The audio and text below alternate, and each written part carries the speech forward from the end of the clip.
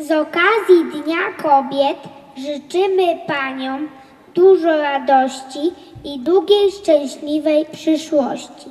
Niech los Paniom z oczu łez nie wyciśnie. Niechaj się wszystko wiedzie pomyślnie. Wszystko, co piękne i wymarzone, niech w Dniu Święta Kobiet będzie spełnione. Po takich życzeniach przyszedł czas na ucztę muzyczną, czyli muzyczny prezent dla pań z okazji Dnia Kobiet. Na scenie w hali sportowo-widowiskowej wystąpił Robert Gawliński z zespołem Wilki. Cień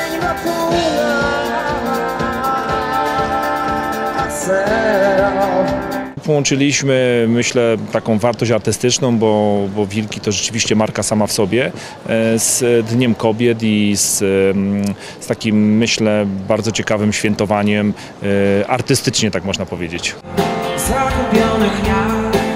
Muzyczny prezent od władz miasta przypadł do gustu licznie zgromadzonej publiczności. Życia święto By będąc tu przez chwilę Wszystko zapamiętać Dzień Kobiet każdy spędza jak lubi. Był bardzo dobry placek, e, był porządny obiad, także też byli synowie e, z życzeniami u mamy. W Dzień Kobiet panowie paniom życzą. Wszystkiego najlepszego. Urody, urody, urody, urody, urody. I nie wiem, no, sukcesów w pracy, w życiu osobistym. A panie wiedzą czego chcą. zdrowia, szczęścia, spełnienia marzeń, sukcesów w pracy, w życiu prywatnym, y, pociechy z dzieci, z męża.